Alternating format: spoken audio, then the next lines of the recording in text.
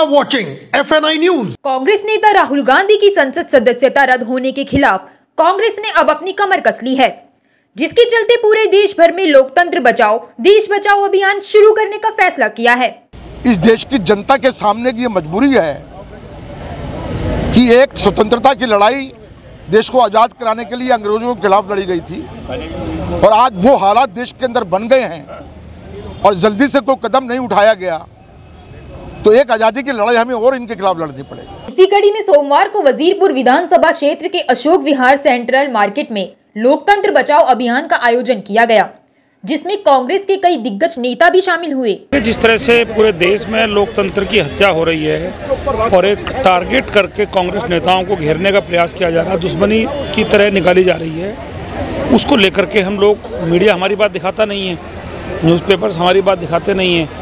तो उसको लेकर के मोहल्ले वाइज विधानसभा वाइज और ये कार्यक्रम रख रहे हैं। का अधिकार है। आज सरकार ने सबके ऊपर एक तरह का कंट्रोल लगा दिया है बैन लगा दिया है कि आप सरकार के खिलाफ बोलेंगे तो आपके खिलाफ ईडी आ जाएगी आपके खिलाफ सीबीआई आ जाएगी। आप अगर पब्लिक के आदमी है तो आपके ऊपर एनएसए लग जाएगा।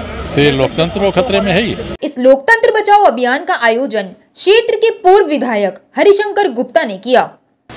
रामचंद्र जी के ब्रह्मांड को तिरतालीस साल का कर दिया है ये उपलब्धि है मोदी सरकार की।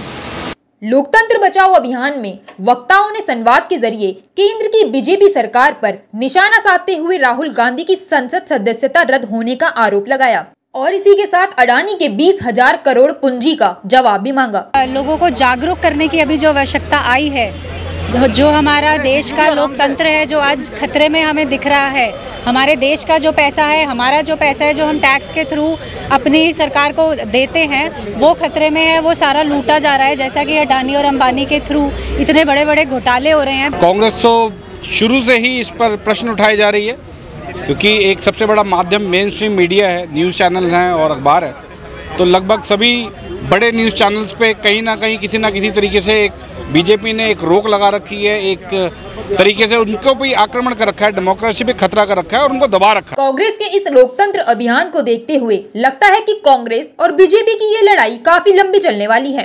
अब देखना ये होगा कि कांग्रेस का ये लोकतंत्र बचाओ अभियान आगामी चुनाव में क्या रंग लाता है। वीडियो जर्नलिस्ट खुशबू काबरा के साथ मैं Ekta Chauhan, F news bureau.